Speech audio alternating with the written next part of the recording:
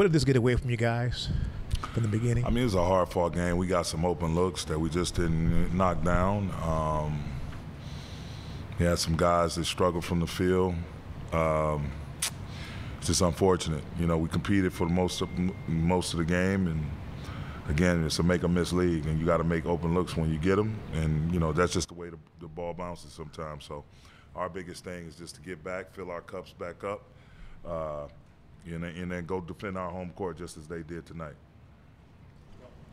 Darvin, you made that run to get within one uh, in the third quarter, and it looked like you're maybe trying to get AD a quick rest. Uh, not just those minutes, but in general, without AD, what do you guys have to do better? And, and is there any I mean, thought we, about we had bigger? we had some untimely uh, possessions where we didn't finish with a rebound, and you know they were able to get one, maybe two offensive rebounds in that stretch. And a team like that, they thrive off those hustle plays, getting those 50-50 balls. They got enough scoring output where, you know, you give them second and third chances at it. You know, they're going to make you pay. So. I just thought some of those unfortunate defensive possessions where we couldn't finish with a rebound hurt us. Um, but you know, overall, our guys came out tonight to compete, and again, we just didn't make enough shots and some untimely, untimely turnovers and some untimely uh, lack of defensive rebounding. You didn't give Wen- Wenyen a few more minutes tonight. Are you just looking to try to match a little bit of their size with some of those second units more?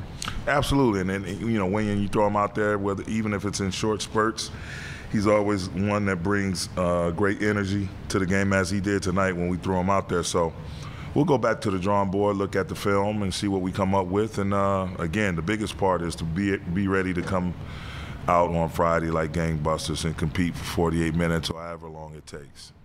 Darvin, a couple questions. Um, with about nine and a half minutes left in the fourth, you you guys were in a timeout, down 24.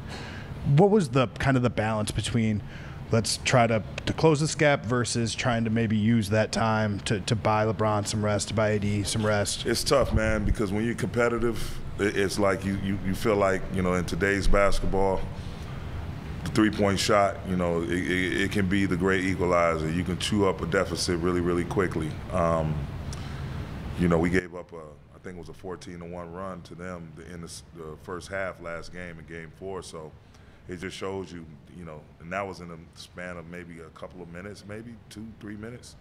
But, you know, it's, it's, it's the great conundrum. You know, do you compete harder and hopefully see some shots go in, get to the free throw line, you know, get the scoreboard moving, or do you take that time, like as you just said, and, and um, try to soak up some minutes with those guys getting ice on the sideline or whatever? But it's playoff basketball, man. Everybody's in a competitive mode, and uh, we decided to leave our guys out there.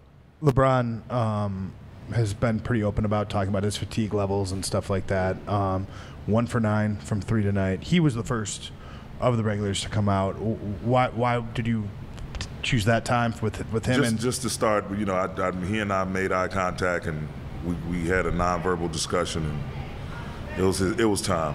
You know, we got we we're gonna need him big on, on on Friday, so it was time. Simple as that. and let mean, sorry. Um, defensively, their back their backcourt, I think, is I'm looking at it, 64 points for Bane and Morant. Um, you guys did adjust a little bit on, on, on Bane in the second half, started to double him more, but was that just great players having a great game, or, or is there more you think you guys can do against them? Totally. I mean, again, we'll go back and look at it. Um, their crowds behind them. Um, it's just one of those things. You know, he had 21 in the first half, 11 in the second. You know, and Ja got away from us a little bit. 13, you know, 18. We both slowed down their scoring output, but uh, you know, Jaren Jackson wakes up. So it's one of those things, man. You're dealing with a good team. This is what playoff basketball is all about. So again, we'll go back, look at the film, and then uh, come up with the best possible plan for Friday.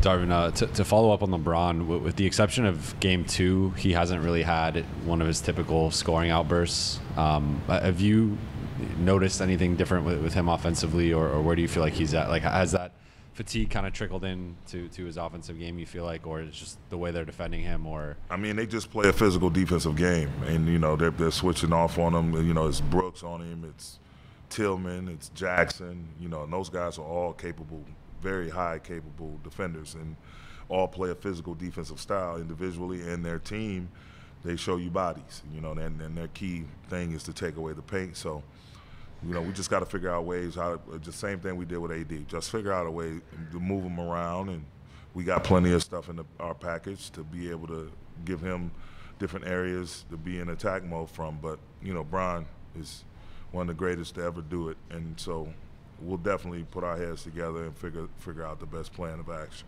Darvin, why do you think it is through these first five games that when either LeBron has a good offensive night, AD seemingly doesn't have as strong as a one, or, or vice versa? When AD does, LeBron doesn't. Why, why do you think they haven't got on the same page? I mean, it's just the way that things have been going right now. Um, and, you know, it's our job to make sure that we, we give them the opportunity to both be on, you know, on, on, on point at the same time simultaneously.